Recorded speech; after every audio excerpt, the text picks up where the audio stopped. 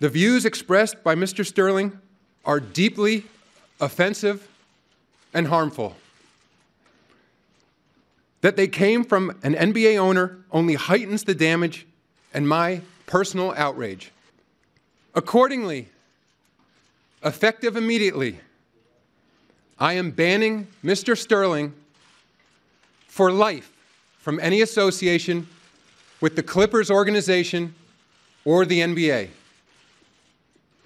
Mr. Sterling may not attend any NBA games or practices. He may not be present at any Clippers facility, and he may not participate in any business or player personnel decisions involving the team.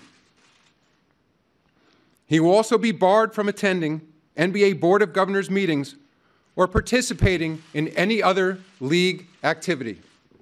I am also finding Mr. Sterling $2.5 million, the maximum amount allowed under the NBA Constitution.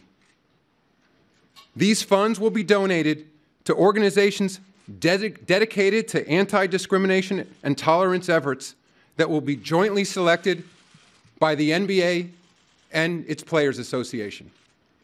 As for Mr. Sterling's ownership interest in the Clippers, I will urge the Board of Governors to exercise its authority to force a sale of the team and will do everything in my power to ensure that that happens.